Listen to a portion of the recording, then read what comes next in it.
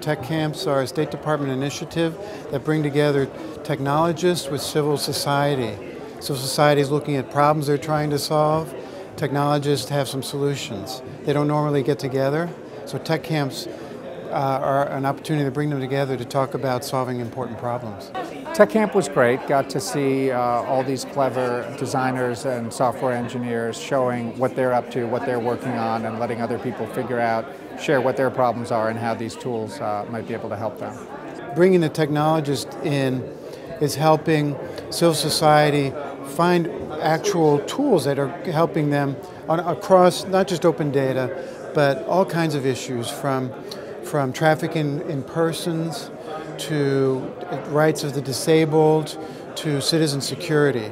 So technology, what, what we're observing from the State Department and our efforts with tech camps is solutions coming out of these mashups for all kinds of issues.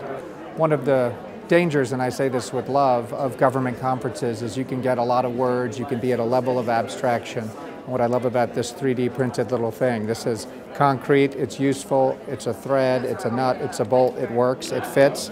So this is a physical one, but what we're seeing over there in Tech Camp are the virtual tools, the puzzle pieces being put together to solve real problems in real places around the world.